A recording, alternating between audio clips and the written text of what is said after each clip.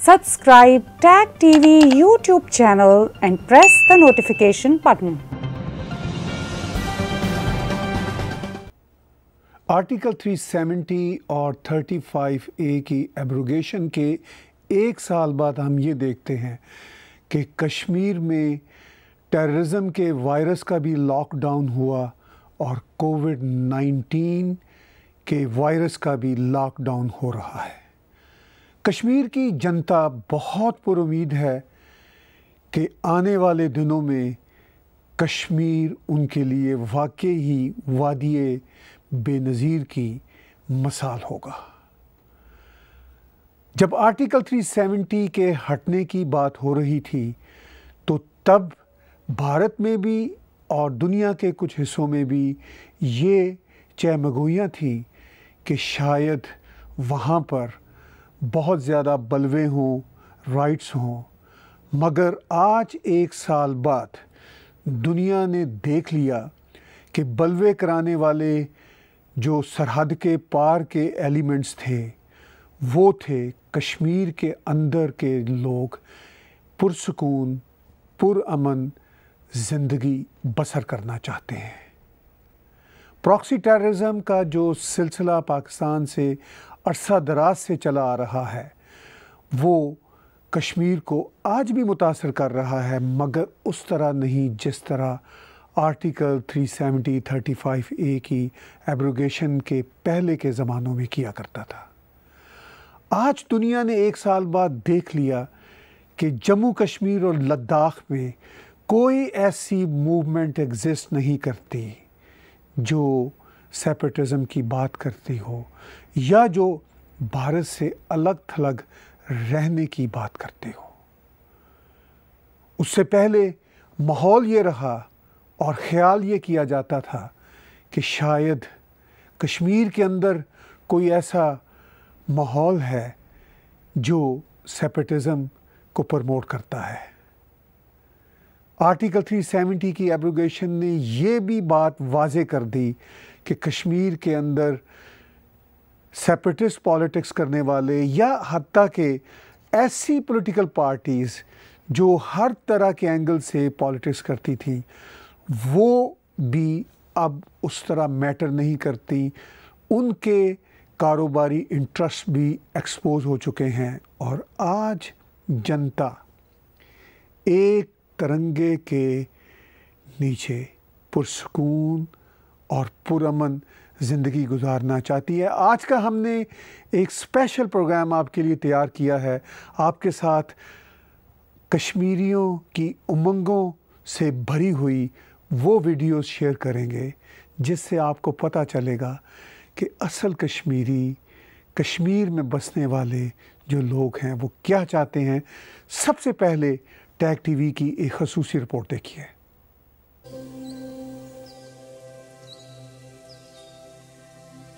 हम हिंदुस्तानी हैं, हिंदुस्तान हमारा है। ये हम सब कश्मीरियों की आवाज़ है। कश्मीर की डेवलपमेंट के लिए सेंटर हर टाइम एक कदम आगे रहती है। और कोविड 19 के टाइम सेंटर ने कोई कमी नहीं छोड़ी।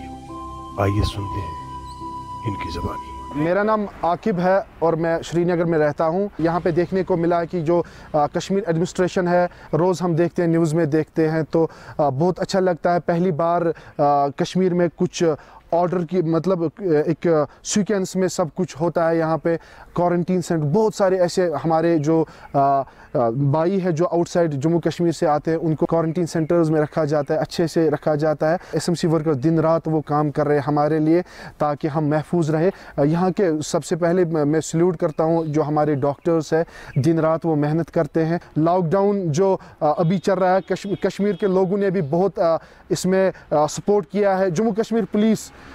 हर एक नाका जहाँ पे होता है वहाँ पे जम्मू कश्मीर पुलिस आपको आ, मतलब हमें दिख रही है। जम्मू कश्मीर पुलिस ने हाल ही में मेरे एरिया में उन्होंने वो ड्रोन से अनाउंस करते थे और बाकी सैनिटाइजिंग ड्राइव वगैरह जो सब कुछ हुआ तो मेरे ख्याल से श्रीनगर एडमिनिस्ट्रेशन कश्मीर एडमिनिस्ट्रेशन ने बहुत अच्छा काम किया इसमें और हमें उम्मीद है कि वो इससे इससे भी अच्छा काम यहाँ कश्मीर में करे। मेरा नाम अमजद है मैं श्रीनगर में रहता हूँ और आप देख पा रहे हैं किस तरह से हमारी एडमिनिस्ट्रेशन जो है वो कंटिन्यूसली एफर्ट्स कर रही है। कोविड नाइन्टीन से लड़ने के लिए। काफ़ी सारे लोग हैं जो कंप्लेंट्स करते हैं, लेकिन मैं अपने पर्सनल वेव की बात करूँ तो मैं कंप्लेंट से ज़्यादा अप्रिशिएट करने में बिलीव करता हूँ।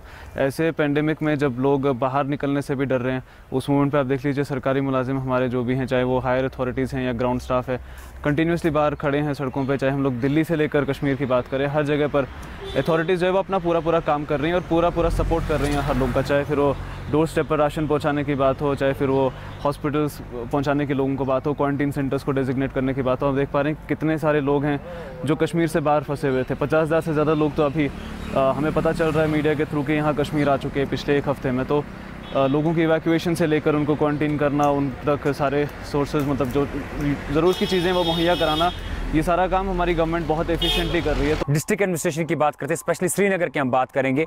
चाहे उसमें S M C Srinagar municipal corporation की बात करें, जहाँ पे उनके मेयर जो है अप्रिशिएटेबल ट्रमेंडस कहूँगा मैं जुनैद अजीम मत्तू ने जो काम किया, सबसे पहला इनिशिएटिव सबसे पहला स्टेप उनका था कि हमें लॉकडाउन करना चाहिए। चार दिन पहले अगर उन्होंने लॉकडाउन नहीं करवाया होता तो शायद अभी भी स्थिति बिल्कुल वही होती जो इटली में थी या जो स्पेन में थी। ओवरऑल यहाँ पे इतने सारे केसेस आ रहे हैं। अगर इतने सारे रिकवरीज हो रहे हैं, वो केवल इन फ्रंट लाइन वॉरियर्स की तरफ़ इनकी बदौलत, क्योंकि डॉक्टर्स देखिए आप अपने फैमिली से पचा, पंद्रह दिन, बीस दिन, तीस दिन अपने फैमिली से दूर रहते हैं लोगों की खिदमत में। जम्मू कश्मीर के officers S P D S P S S Ps इसी चीज़ में लगे हैं कि वादे कश्मीर के आवाम को बचा कैसे पाए वादे कश्मीर के लोगों को इस वबाही बीमारी से निकाले कैसे? अब जाके लोगों को भी इसके बारे में बुगुस नफरत छोड़ के इन सब चीज़ों के बारे में सोचना चाहिए कि वाकई में एडमिनिस्ट्रेशन ने कारकर्दगी दिखाई है इस मुसीबत में, जिसकी एक्सपेक्टेशंस पूरे वादे कश्मीर के लोगों ने की ही नहीं थी।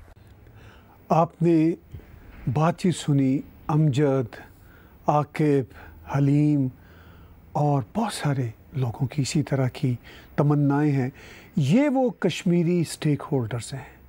ये वो कश्मीरी हैं जिनकी आवाज़ तमाम साउथ एशियंस तक साउथ एशियंस दुनिया में कहीं भी रहते हों तक पहुंचनी चाहिए कि इन कश्मीरियों के नाम लेकर टेररिज्म करने वाले जो एलिमेंट्स हैं वो एक्सप्लॉइट किया करते थे। मगर ये कश्मीरी कह रहे हैं कि कोविड 19 के पेंडेमिक के ज़माने में जब पूरी दुनिया परेशानी का शिकार है और किस तरह कश्मीरी अपनी एडमिनिस्ट्रेशन अपनी भारतीय सरकार की मदद से इस मोहलक बीमारी का मुकाबला कर रहे हैं और सफल हो रहे हैं। ये जद्दोजहद अमजद, आकिब, हलीम की नहीं, हमारी जो कश्मीरी बच्चियाँ हैं, वो भी शाना बशाना काम कर रही हैं कि किसी तरह हम कोविड 19 का मुकाबला करें। और ये जो इस वक्त का माहौल है चैलेंजिंग माहौल कोविड 19 का, इसमें कश्मीरी जिस तरह तुंदही के साथ मुकाबला कर रहे हैं, उससे ये मालूम होता है कि ये सिर्फ़ कोविड 19 के वायरस का मुकाबला ही नहीं, बल्कि टेररिज्म के वायरस का मुकाबला भी है। जिस तरह के अमन के माहौल को कश्मीरियों ने कायम किया है इस एक साल में।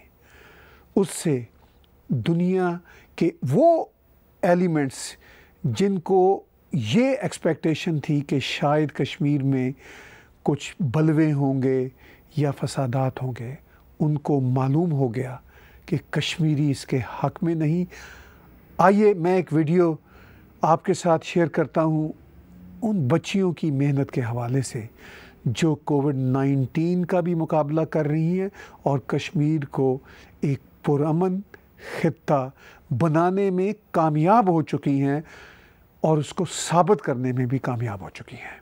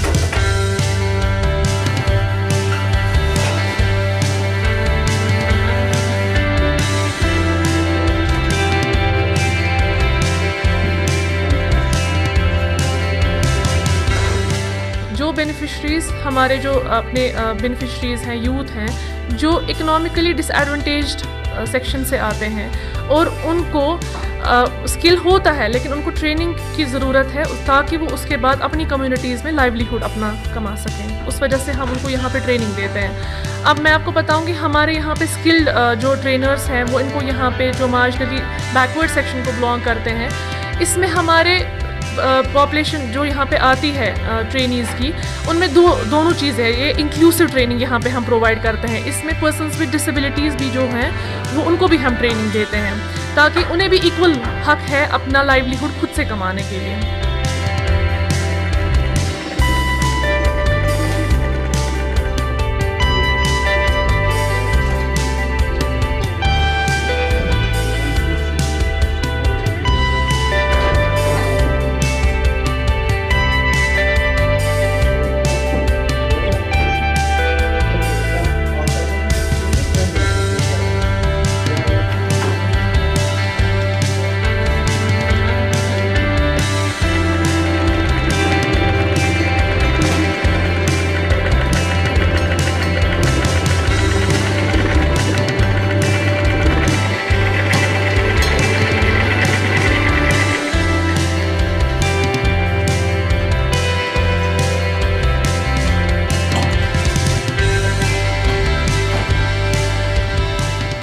से हम यहाँ पे टेलरिंग कर कर रहे हैं।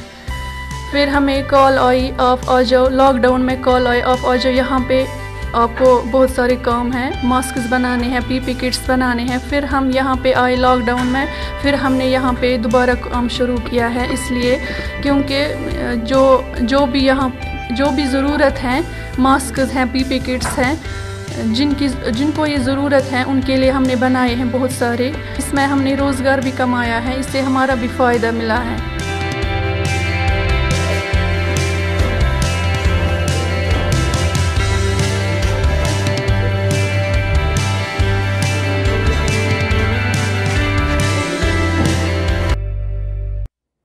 शाइस्ता जान हो, उज़मा हो, कोई भी कश्मीरी बेटी हो वो बता रही है कि किस तरह की पुरसकून इन्वायरमेंट है, जिसमें वो ख़ास तौर पर एब्रोगेशन आर्टिकल 370 और 35 ए के बाद काम कर रही हैं और कोविड 19 के मोहलक मर्ज से अपनी जान बचा रही हैं। एक ऐसे ही अगले वीडियो में हम आपको दिखाएँगे कश्मीर की बहनें, बेटियाँ किस तरह बड़े बड़े टारगेट सामने रखे हुए हैं? किस तरह वो सोचती हैं कि मिलियंस एंड मिलियंस मास्क बनाएँगी कोविड 19 से मुकाबले के लिए?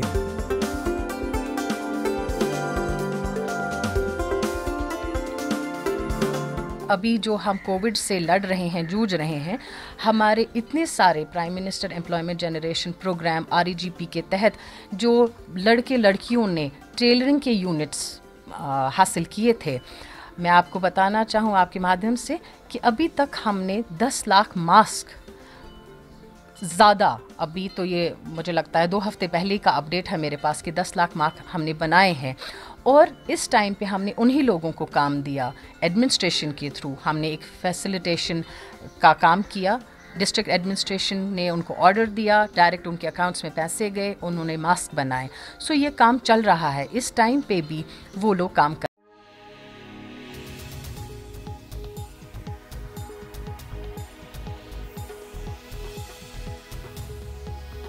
आई के थ्रू हमें ये ऑर्डर्स मिले हैं मास्क बनाने का।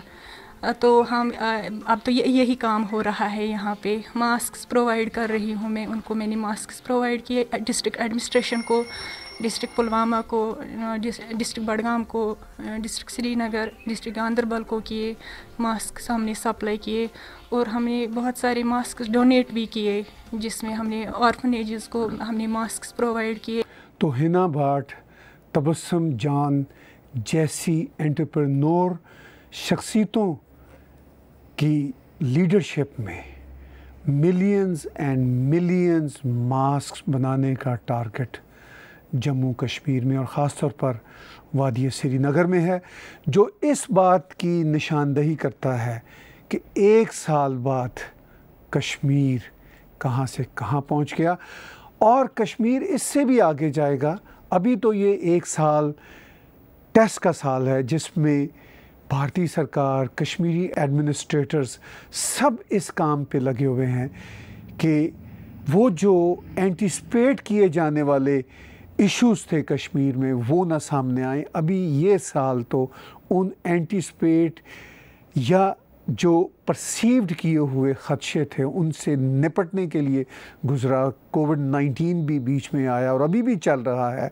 इस पेंडेमिक के ज़माने में उन्होंने ये साबित कर दिया, चाहे एडमिनिस्ट्रेशन हो, चाहे कश्मीरी आवाम हो, कि वो ज़िंदगी को एक नॉर्मल रंग ढंग से चलाना चाहते हैं, मगर बदकिस्मती से जो रेडिकल मीडिया है और जो सेंसटाइज करने वाला मीडिया है, वो माहौल को ख़राब करने के लिए किसी ऐसी बात को फैलाएगा जिससे ये कहानियाँ जो हम आपको दिखा रहे हैं, ये नज़र ना आए, ये है नॉर्मल ज़िंदगी जिनके वीडियोस मैं आपको दिखा रहा हूँ।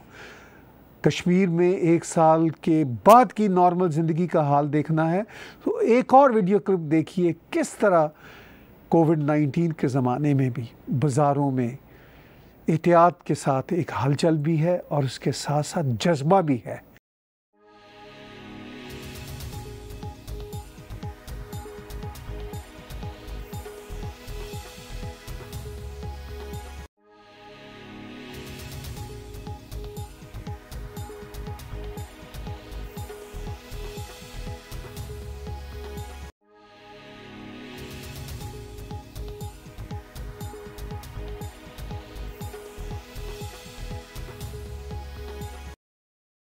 फॉलो की है। जैसे आप देख रहे हो, इस वक्त सिर्फ़ जिसकी गांधरबल जो है, अभी दुकानें खुली हैं। ये इसी की वजह से है कि हमने कोविड 19 को अच्छी तरीके से जाना, उसको समझा, इसमें क्या हमें करना है, कि हमें एक ही चीज़ करनी है, हमें सोशल डिस्टेंस रखनी है।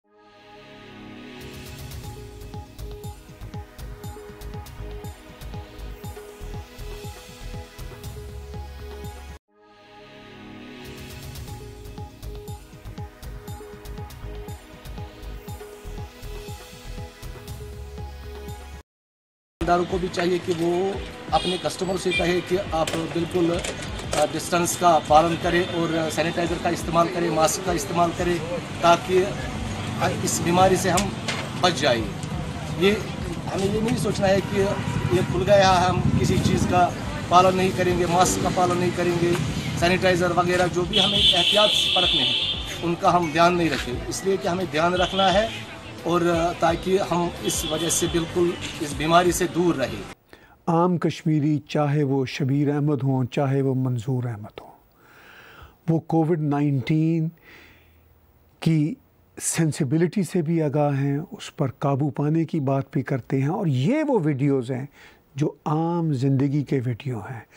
आज एक साल बाद टेररिज्म के लॉकडाउन और फिर कोविड 19 के लॉकडाउन से गुज़रते हुए कश्मीर में किस तरह की अवेयरनेस है और किस तरह की पुरअमन और पुरसकून ज़िंदगी है? लेकिन इस ज़िंदगी को हमारा सेंसेशनलाइज्ड मीडिया नहीं दिखा रहा, दुनिया को नहीं पता चल रहा वेस्टर्न मीडिया को नहीं पता चल रहा कि किस तरह की ज़िंदगी और किस तरह के अच्छे जज्बे रखने वाले खूबसूरत लोग कश्मीर में हैं। और वो जो टेररिज्म की आग भड़काने वाले बॉर्डर पार से जो लोग आते हैं, अब वो बहुत कम हो गए हैं। लेकिन अभी भी आते हैं और शायद कुछ अरसा और आते रहें। वही दुनिया दिखाती है। दुनिया को ये नहीं पता कि असल ज़िंदगी कैसे रवा दवा है। आप देख रहे हैं कि लोग कश्मीर के एक साल बाद किस तरह की ज़िंदगी गुजारना चाहते हैं, वो जज्बे आप देख रहे हैं। सरकार उनको क्या सहूलतें दे रही है, उसकी भी एक झलक इस वीडियो में देखिए पाँच अगस्त को धारा 370 और 35 ए जब भारत के संविधान से हटाया गया तो कश्मीर घाटी में कश्मीरी अवाम को कुछ परेशानियों का सामना करना पड़ा। चाहे वो मोबाइल सहूलियातों का हो या फिर कारोबार के मामले में। लेकिन अब कश्मीर को वो पहचान मिली जिसकी कश्मीर को ज़रूरत थी। कश्मीर की तरक्की और खुशहाली के लिए भारत सरकार ने बहुत सारी स्कीमें आयद की हैं, जिनके ऊपर आज हम गौर फरमाएँगे। भारत सरकार ने यह भी ऐलान किया है कि तीन सौ छियासठ करोड़ रुपए 4000 ग्राम पंचायत को दिया जाएगा, जिससे कश्मीर में तरक्की हो। और सरपंच को पच्चीस सौ रुपए और पंच को एक हज़ार रुपए हर महीने इंसेंटिव दिया जाएगा।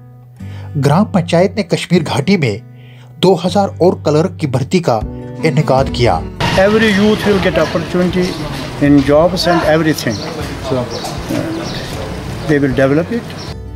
अब सरकार 634 ग्राम पंचायत को इंटरनेट सहूलियत मैसर करेगी और हर ज़िले में दो डिजिटल गाँव बनेंगे अब हर किसी को फलाह बहबूद की स्कीम आधार कार्ड के ज़रिए मिलेगी ताकि हर एक को ये मैसर हो। आराम हमें मिला है। गाड़ियों का आराम मिला है बिजली का मिला है पानी का मिला है। अब कश्मीर में आईटी पार्क बनेंगे। यहाँ की सड़कें बेहतर होंगी और यहाँ की पढ़ाई के लिए एमबीबीएस और इंजीनियरिंग कॉलेजेस खुलेंगे। और कैंसर जैसी खतरनाक बीमारी से बचने के लिए श्रीनगर के अंदर कैंसर इंस्टीट्यूट खोला जाएगा। और कश्मीर घाटी में मेट्रो ट्रेन की सहूलियात भी मैसर होंगी। जिससे कश्मीर पूरी दुनिया में बेहतरीन, खुशहाली और अमन में शुमार किया जाएगा। Kashmir progress in one year आपके सामने है। अब वो अनरेस्ट वो पत्थरबाजी और वो दहशत गर्दी नहीं चलेगी।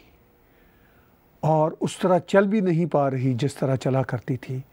और जो थोड़े बहुत इक्का दुक्का वाक़ात होते हैं और जो इनफिल्ट्रेशन होती है सरहद के उस पार से, उस पर भी कश्मीरी आवाम भी और भारत की सरकार भी काबू पा रही है और कश्मीर की एडमिनिस्ट्रेटिव बॉडीज़ भी काबू पा रही हैं। बहुत ही खुशाइन सूरत हाल है।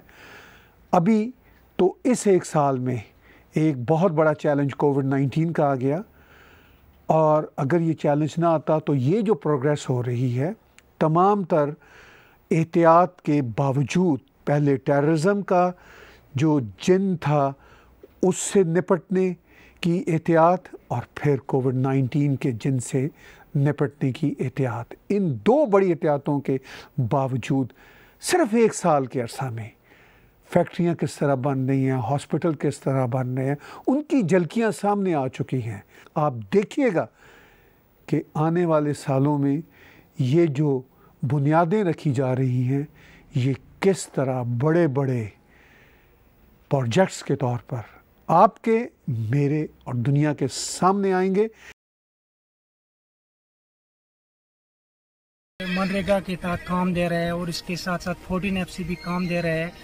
इससे यहाँ के लड़कों को रोज़गार मिला है, जो इसी काम में बिज़ी रहते हैं। हम गवर्नमेंट के शुक्रगुजार हैं, उन्होंने यहाँ ऐसा काम दिया है।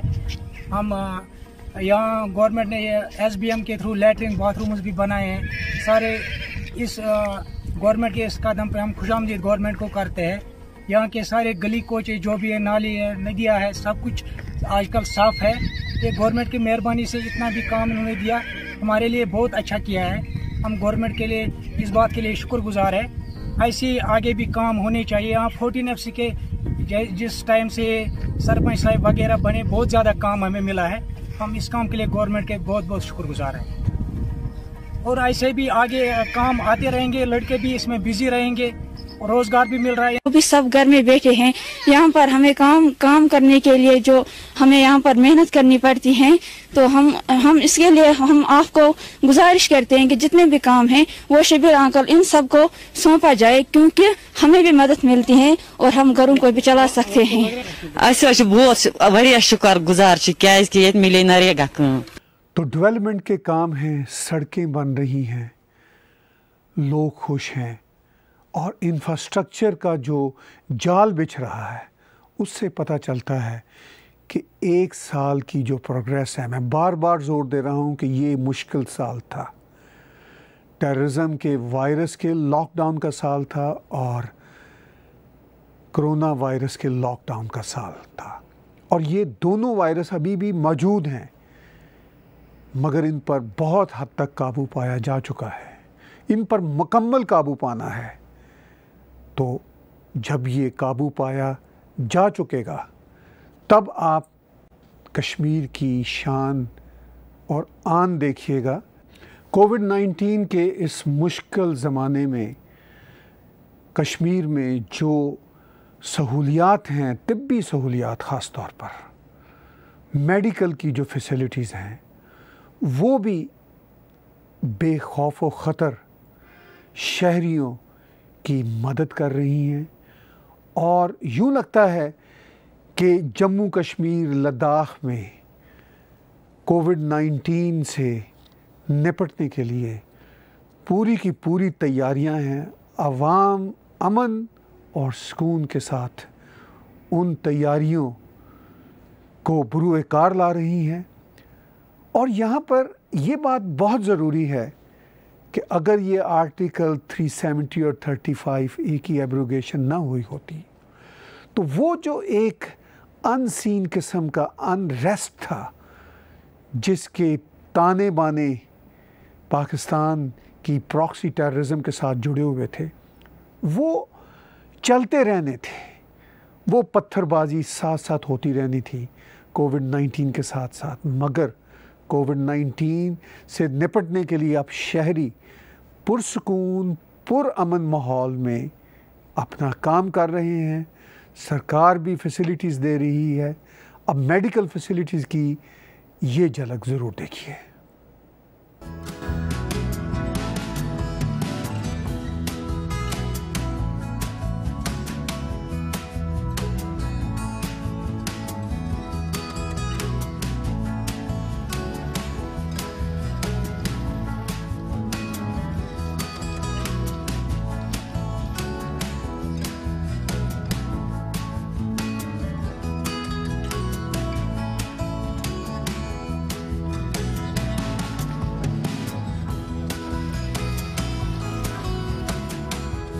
इसका कॉन्सेप्ट ये है कि सर, जब भी कोई मेडिकल और सर्जिकल इमरजेंसी होती है हमारे घरों में तो हम क्या करते हैं पेशेंट्स को लाइक अगर किसी को एमआई हो गया या और कोई लाइक स्ट्रोक या और कोई सर्जिकल कंडीशन हुई है, हम पेशेंट को अपनी गाड़ी में बिठा कर लेते हैं हॉस्पिटल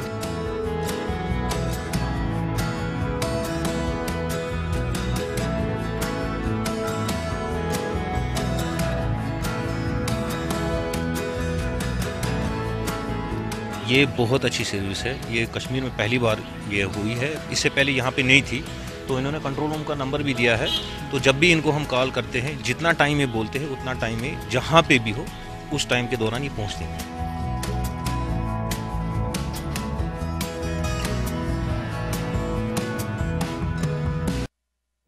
कश्मीरी शहरी शाहिद अहमद कहते हैं कि पहली बार कश्मीर में इस तरह की एंबुलेंस सर्विस आई है। और उनका ये भी कहना है कि वो इतनी एक्यूरेट है और इतनी भरपूर अंदाज से सर्विस देती है कि जब जिस समय वो बोलते हैं कि एंबुलेंस पहुंचेगी, उस समय वो पहुँच जाती है। इस एक साल में लोगों को ना सिर्फ़ ये कि उम्मीद पैदा हुई, बल्कि प्रैक्टिकली रिलीफ मिल रहा है। नए नए हॉस्पिटल्स बन रहे हैं। जब नए नए हॉस्पिटल्स बनने की बात हो तो फिर मैं ज़रूर एक नए बनने वाले हॉस्पिटल की झलक आपको दिखाऊँगा। ये जहन में रखिए कि अभी सिर्फ़ एक साल हुआ है और इससे एक साल में दो बड़े चैलेंजेस थे जिसमें मैं बार बार ज़ोर दे रहा हूँ। एक टेररिज्म का वायरस और एक कोविड 19 का वायरस। मगर अब कश्मीरी ये जान चुके हैं कि ये दोनों वायरस बाहर के हैं, इनके अंदर मौजूद नहीं थे। दोनों वायरस बाहर से आए थे, इन दोनों को देश निकाला करना है और काफ़ी हद तक कश्मीरी भारतीय सरकार और कश्मीरी एडमिनिस्ट्रेशंस के साथ मिलकर इनका देश निकाला कर चुके हैं। अब नए हॉस्पिटल की ज़रा ये झलक देखिए कि किस तरह बुनियादें रखी जा रही हैं और किस तरह काम आगे चल रहा है।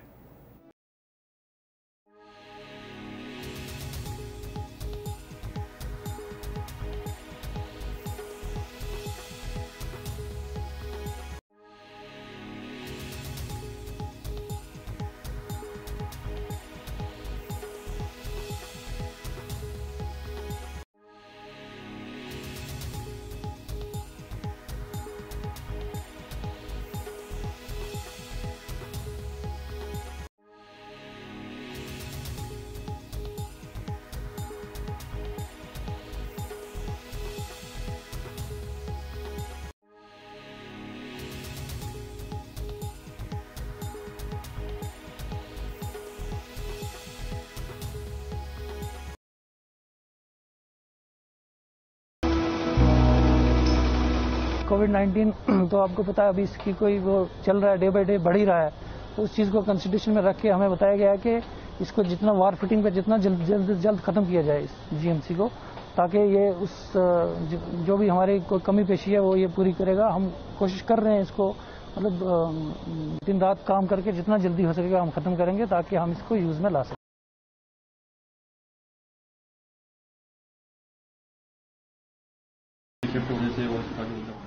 इसमें ऐसा है जैसे देखिए इस हॉस्पिटल में मेक शिफ्ट अरेंजमेंट किया हुआ था तो काफ़ी से डिपार्टमेंट्स जो हैं अस्पताल में ही बैठे हुए हैं।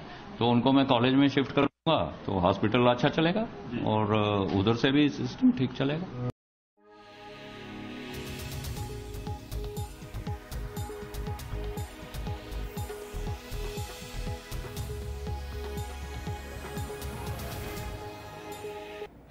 तो ये सिर्फ़ हॉस्पिटल ही नहीं, एक मेडिकल कॉलेज है। क्योंकि मेडिकल कॉलेज हॉस्पिटल के बगैर बेमानी है और एक बड़ा हॉस्पिटल मेडिकल कॉलेज को अपने अंदर समोए हुए होता है। तो ये प्रोग्रेस, यानी एक लेवल की प्रोग्रेस नहीं, कई लेवल की प्रोग्रेस है। अब वादी में सिर्फ़ एक हॉस्पिटल ही नहीं बन रहा, बल्कि एक मेडिकल कॉलेज भी बन रहा है। और मेडिकल कॉलेज एक बहुत बड़ी डेवलपमेंट होता है। स्टूडेंट्स को अब वादी में, कश्मीर में, जम्मू के स्टूडेंट्स को, लद्दाख के स्टूडेंट्स को अब मेडिकल कॉलेज वहाँ पर मिलेगा। तो कितना बड़ा गिफ्ट है। और जैसा कि आपने इंजीनियर की ज़ुबानी सुना कि वो इसको जल्द तमीर करना चाहते हैं, उनको हदायत हैं सरकार की कि इसको जल्द तमीर करें, क्योंकि ये हमें पता है कि ये कोविड का जो वायरस है, ये रहेगा, अब हमें इसके साथ रहना है। अब दुनिया को ज़रूरत है ज़्यादा से ज़्यादा मेडिकल फैसिलिटीज़ की, फ्यूचर में, मुस्तकबिल में इस वायरस का मुकाबला करने के लिए, और ये काम कश्मीर में हो रहा है। अब मैं आपको दूसरी तरफ़ की बॉर्डर के उस पार की पाकिस्तानी एडमिनिस्ट्रेड कश्मीर की कुछ पिक्चर दिखाता हूँ कि वहाँ क्या हो रहा है। अब वही टेररिज्म का वायरस जो पेंडेमिक के वायरस से बहुत दहाइयों पहले कश्मीर को अपनी लपेट में लिए हुआ है, वो वाक़यात अभी भी हो रहे हैं। यहाँ के कुछ मासूम बच्चे किसी न किसी तरह से पाकिस्तान पहुँचते हैं तो उनको किस तरह का सबक पढ़ाया जाता है? एक ऐसा ही वीडियो क्लिप तीन कश्मीरी नौजवानों का, वकील अहमद डार, मोहम्मद शफ़ी भाट और सजाद अहमद ख्वाजा। वो कहानी बयान करते हैं कि किस तरह टेररिज्म का वायरस उनके अंदर मुंतकिल करने की सरहद के उस पार यानी पाकिस्तान की तरफ़ कोशिश की गई।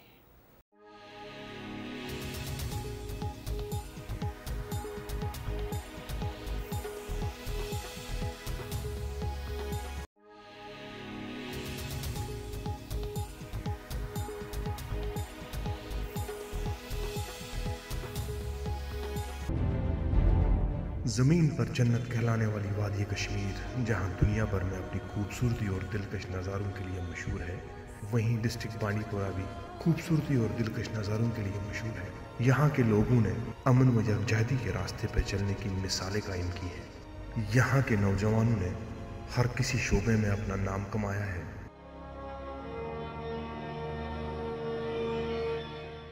वादी में नामसाइल हालात ने जहाँ हर शोबे को मुतासर किया है वहीं समाज के मुस्तकबिल कहलाने वाले नौजवानों की जहनीत पर भी बहुत बुरा असर पड़ा है। स्कूल और कॉलेज जाने वाले नौजवानों के हाथों में बंदूक रख के उनकी ज़िंदगी खराब करते रहते हैं। बांडीपोरा बनकुट गाँव के तीन नौजवानों की कहानी ऐसी ही कुछ है। किले वालों को हमने बताया हमको घर जाना है वापस। हमारे से गलती हो गई था हम मादर चाहते वापस अभी वैसे जो सोच रहे थे वैसा नहीं लगा। सारे कश्मीरी वापस आना चाहते हैं। जो उधर सच्चाई बताते हैं उसको जेल में बंद कर। जो वो सामने कहते हैं आप ऐसे हो वैसे हो फिर वो उनको जेल में बंद कर। हमारा गाँव का था उसको साढ़े तीन साल के बाद छोड़ा तो उसी ने हमको सब सारा स्टोरी बताई क्या है क्या नहीं उन लोगों ने कहा आप लोगों को मुजाहिद बनना है हमने मना किया था। हम मुजाहिद नहीं बनेंगे हम घर चले जाएँगे। ये नौजवान जब पाकिस्तान पहुँचे तो वहाँ कहानी कुछ और बस इन्होंने वापस आने की ठान ली जो वहाँ के सरपरस्तों को मंजूर न था पट्टी बांधी? उधर से रात को गाड़ी में बिठाया फिर लगभग आधे घंटे का तो आधे घंटे का सफ़र है। हाँ। आपको कैसे पता था ये माचिस फैक्ट्री जेल है? फिर बाद में पता चला। बाद में पता था ओके। उसके बाद उधर उन्होंने कहा कि हमें काम तो हमें नहीं बना हमें घर जाना है। अच्छा वो माचिस फैक्ट्री में मतलब सारे मुजाहिद रहते हैं सिर्फ़ मुजाहिद रहते हैं। या और वो एजेंसी है मुजाहिदों के साथ काम करते हैं। अच्छा। माचिस फैक्ट्री तो जेल है ना? जी जी। ये पहले वॉइस फैक्ट्री थी बाद में ये जेल बन गया। कश्मीरी ज़्यादा जेल है। मतलब उसमें ज़्यादा कश्मीरी है जो बंद ओके इधर से जो गए हुए वाले वो बंदे हैं या वहाँ के है, वो हैं हैं। ओके। उसने हमें सारी सच्चाई बताई कि कौन क्या है क्या बोल रहा था उसने क्या बोला उसने बोला क्यों आए हमने बोला उसने उसने हमें बोला मारा थोड़ा सा आप इधर की मेरी तो ज़िंदगी तबाह हो गई है पंद्रह साल आप क्यों आए हमने बोला ऐसे बोला कौन सा चाह ये तो माँ बाप को बताया फिर जब उसने माँ बाप कहा कि माँ बाप के बगैर जहाँ पहले दिन कहा मेरा मशवरा ये घर जाओ मेरा मशवरा ये घर जाओ हमने कहा मतलब इनसे तो उधर कुछ नहीं करते वो तो इंडिया वाले तो इनसे अच्छे क्योंकि उसको साढ़े तीन साल बंद रखा उसने पहले से एक तंजीम छोड़ी थी वो तंजीम से बाहर था उसको बाहर से उठाया ये एजेंसी वालों ने उसने तंजीम इसलिए जब वो इधर से लॉन्च हुआ था फिर उसको तौसीफ का। जी फिर उसको इधर आना था लॉन्चिंग के लिए जब आया तो उनको रास्ते में फ़्लाइट हुआ। तो वो वापस चले गए साथ। तो जो उनको दिया था पैसे में से पिस्टल गन अभी एक पिस्टल दिया था तो वो जो कमांडर था उसने चार लिखा था चार महीने उनको दिया। पैसा जैसे दो लाख दिया था उसने छह लाख दिया था फिर उसने उसी टाइम उसने तंजीम छोड़ी थी वो तंजीम से बाहर हो गया। वो तो बात से बात किया है तो हो है। क्यों क्यों नफरत हुई? क्योंकि हम उधर के जो इस्तेमाल कर रहे हैं वो सब कश्मीर तो इस्तेमाल तो आपको कैसे लगा कि कश्मीरियों को इस्तेमाल कर रहा है करके? मतलब एजेंसी बताएँगे जाना है तब जाना है रुकने को रुकना है हम्म। जो अपनी चले जाएगा तो उसको बंद करके रखते हैं जो कश्मीर में सच बोलता है उसको जेल में जेल भेजते हैं। और जितने भी तमाम लोग वो सारे अपने मकानों में उन्होंने तो कोटियाँ बनाई है उधर। पैसे खाते हैं। गाड़ियाँ है उनके पास जो आम उस- हमारी तरह वो जो रिक्शा चलाता है वो बस। इससे सारे कश्मीर को इस वजह से नफरत भी हो गई तो हमारे घर से कपड़े आए मेरे घर से। वो अभी उसी के पास मेरे मेरे कपड़े कैसे है? कहाँ से है? इधर से कहाँ से? वो एक रहा था उसकी बहन आई थी वीज़ा दे रही थी। उसकी बहन उसका अगर कपड़े वो अभी उधर ही मैंने मुझे पता ही नहीं किस तरह के। हैं। ये एक ऐसा वीडियो है जो पूरी दुनिया को देखना चाहिए जो कश्मीर में टेररिज्म के वायरस को समझना चाहते हैं इस वीडियो को देखें। आपने भी देखा मैंने भी देखा। तीन नौजवान जो वादी से भाग के जिहाद के शौक़ में ट्रेनिंग लेने के लिए पाकिस्तान गए तो वो कहानी सुनाते हैं। उनसे जो सवालात पूछने वाला है या जो कोट अनकोट एक तरह से इंटेरोगेट करने वाला है, वो एक दोस्ताना माहौल में बात कर रहा है। आप उन नौजवानों की बॉडी लैंग्वेज देख लीजिए। वो किसी खौफ के तले नहीं बात को बयान कर रहे, बल्कि रिकॉल कर रहे हैं वो कहानियाँ। और उनको एक पछतावा है कि वो क्यों गए थे। और एक अब इत्मीनान भी है कि वो बच गए टेररिज्म का ईंधन बनने से। ये है दूसरी तरफ़ की कहानी और ये जो वायरस वहाँ से इधर आ रहा है, ये एक वीडियो ही काफ़ी है। वैसे तो इस तरह के दर्जनों क्या सैकड़ों वीडियो मिल जाएँगे, सैकड़ों एविडेंसेस मिल जाएँगे, मगर ये वीडियो, इसमें उन तीन नौजवानों की बॉडी लैंग्वेज देखिए कि वो कितनी सहूलत से रिकॉल कर रहे हैं। उनको चीज़ें तोड़ तोड़ के याद आ रही हैं। ऐसा ही ज़िंदगी में होता है, जब आप भटकते हैं तो फिर आप रिकॉल करते हैं कि कि आपके साथ क्या क्या इंसिडेंसेस हुए थे। ये कहानी अपनी जगह पर इस सारे वाक़े का मुँह बोलता सबूत है कि भारत में जिस तरह की टेररिज्म सरहद के उस पार से कई दहाइयों से आ रही है और किस तरह नौजवानों को टारगेट किया जा रहा है। मैंने बहुत सारे वीडियो क्लिप्स आपको जम्मू कश्मीर, लद्दाख में प्रोग्रेस के हवाले से दिखाए, सिर्फ़ एक साल की प्रोग्रेस दूसरी तरफ़ पाकिस्तान में प्रोटेस्ट ही प्रोटेस्ट हैं, चाहे वो गिलगत बल्तिस्तान हो, चाहे वो पाकिस्तान एडमिनिस्ट्रेट कश्मीर हो, वहाँ पर क्या हाल है, क्या प्रोग्रेस है, सड़कें टूटी हुई हैं, कोई प्रोग्रेस नहीं है। देखिए एक ऐसा ही वीडियो क्लिप जिसमें गिलगित बल्तिस्तान और पाकिस्तान एडमिनिस्ट्रेट कश्मीर के लोग क्या क्या दुख की कहानियाँ बयान करते हैं।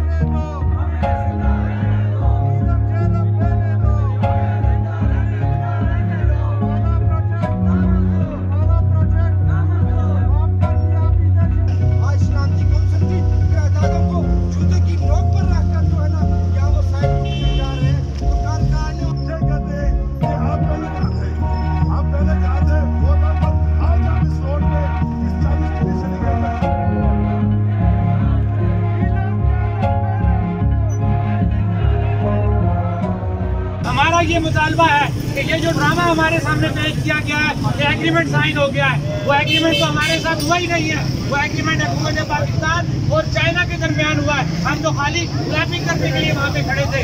हमारा मुतालबा है अपने प्राइम मिनिस्टर से कि वो ये बात क्लियर करें ये बताएँ कि हम किस जगह खड़े हैं।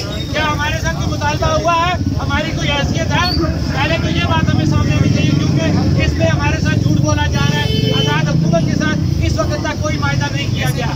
मैं दूसरी बात एक और करूँगा कि हमारे पास लोग ये कहते हैं कि हमें इसका कोई फ़ायदा नहीं है। हमारा जो चार्टर ऑफ़ डिमांड है, हम मानवान उसी के ऊपर कायम है और कायम रहेंगे।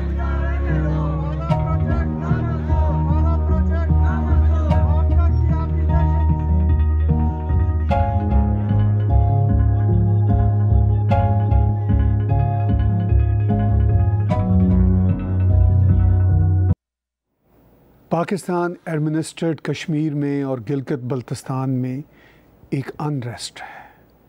सीन भी और अनसीन भी, दिखाई देने वाला भी और ना दिखाई देने वाला भी। लोग इस प्रोटेस्ट में कह रहे हैं कि हमें तो पता ही नहीं कि हमें पाकिस्तान क्यों चाइना के हाथ बेच रहा है।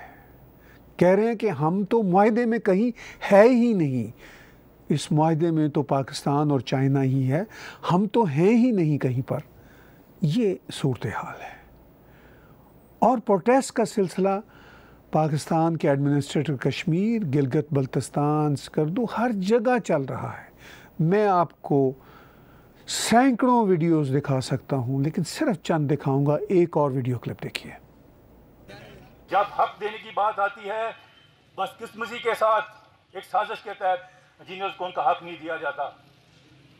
ये जो ठंडे कमरों में बैठे हुए लोग फैसला करते हैं, उनको ये याद रखना चाहिए, ये जो बिल्डिंग है, ये स्ट्रक्चर है, ये जो रोड्स हैं, ये जो बिजली है, पानी है सारा हमारी हमारी कार नुमाया है, हमारे बुज़ुर्गों के जो हमारे सीनियर थे, उनकी कावशों का नतीजा है। इस कबील से ताल्लक़ रखने वाले लोगों को अगर अपनी लाजत से और डिसेंसी से अपने मुतालबात, उन्हें तस्लीम ना करें तो ये अफसोस का मकाम है।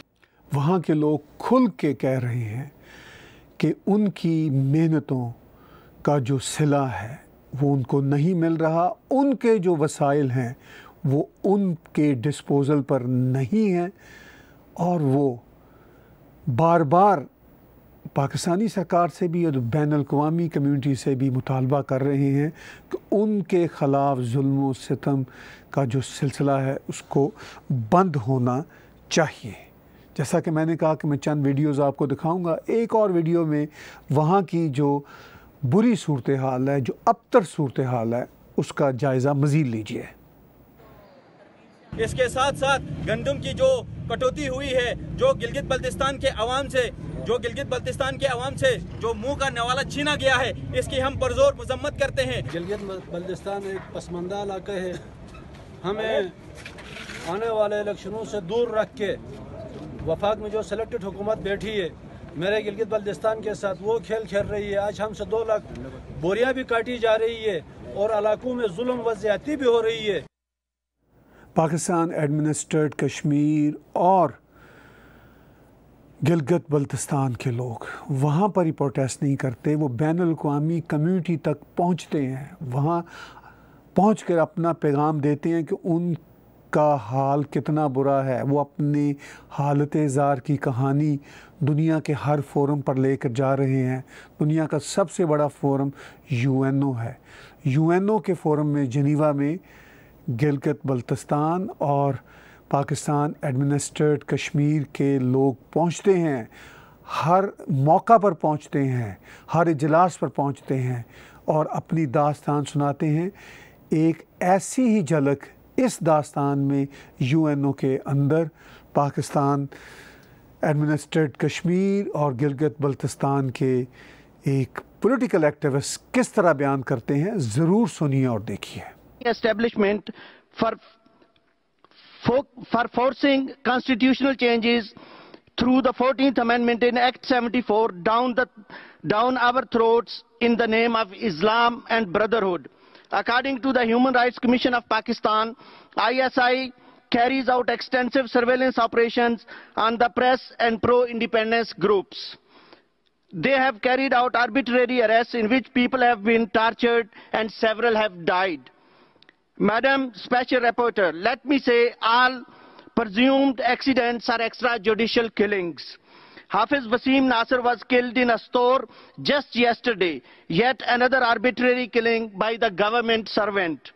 I request this August Council that the Pakistani government be put on notice on specific cases of extrajudicial killings and summary. ऐसी बात नहीं कि कश्मीर के उस पार के लोग और गिलगित बल्तिस्तान के लोग अपनी आवाज़ बैन अवी कम्यूनिटीज़ तक और बड़े बड़े इंटरनेशनल फोरम्स तक लेकर ना जा रहे हों।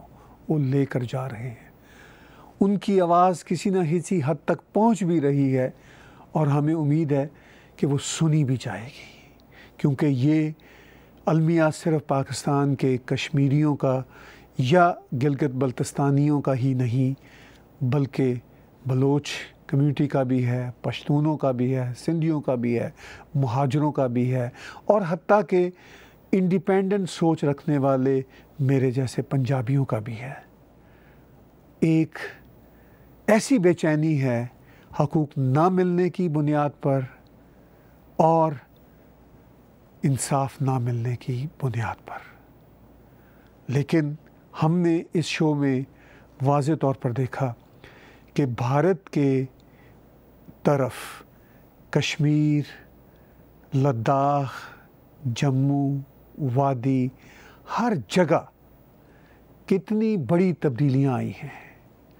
आर्टिकल 370 और 35 ए के एब्रोगेशन के बाद वो जो डिस्क्रिमिनेटरी किस्म के, वो जो नस्ली इम्तियाज़ात पर मबनी एक डिवीज़न थी, वो मुकम्मल तौर पर ख़त्म हो चुकी है, कानून में ख़त्म हो चुकी है। लोगों को प्रैक्टिकली उसके सम्राट किस तरह मिलेंगे और आने वाले सालों में ये बात खुलती चली जाएगी वाज होती चली जाएगी। अब तक की एक साल की प्रोग्रेस की कुछ झलकियाँ मैंने आपको दिखाई। मुझे बहुत ही उम्मीद है कि आने वाले सालों में ये सूरत हाल कश्मीरियों के लिए बेहतर से बेहतर होगी और मैं सिर्फ़ हर साल नहीं बल्कि हर हफ़्ते, हर महीने ये प्रोग्रेस आपके साथ शेयर करता रहूँगा। आज आर्टिकल 370 35 ए की एप्रोगेशन के करीब एक साल गुजर जाने के बाद मैं आप सबको मुबारकबाद देता हूँ। ख़ास तौर पर कश्मीरियों को मुबारकबाद देता हूँ कि वो अब भारत के इक्वल सिटीजन्स हैं। और ये बात किसी बड़ी कामयाबी से कम नहीं। आज का बिला तकल्लफ तजिया, ताहिर गोरा के साथ देखने और सुनने का बहुत शुक्रिया। Subscribe tag TV YouTube channel and press the notification button